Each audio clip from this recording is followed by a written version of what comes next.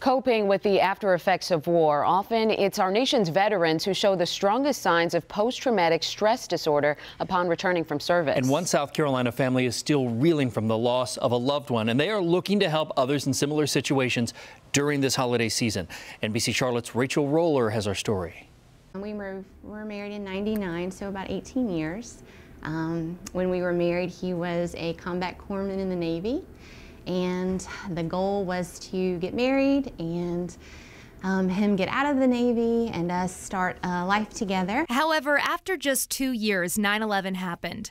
Colin Jeffcoat decided to join the National Guard for three deployments, pushing back those plans until 2012. He was a lot more on edge. I really just chalked it up to him being trying to get acclimated. In September, Jeffcoat's fellow medic committed suicide. And I remember my husband saying to me, you know, I understand because you just can't make it turn off. Sadly, Sugar Jeffcoat says her husband couldn't either.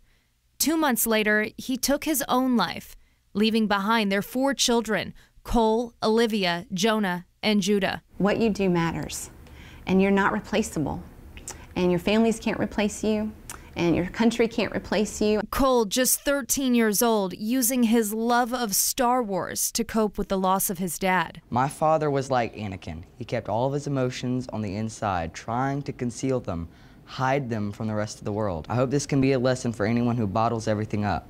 Try not to, it isn't healthy. Now the Mama 4 wants people to know there's not only hope, but help.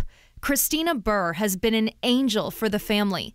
She was based with Jeffcoat in South Carolina and is now working with Mission 22 to raise money for the Jeffcoat family and other veterans suffering with PTSD. Red Ventures has offered to match dollar for dollar every penny that we raise.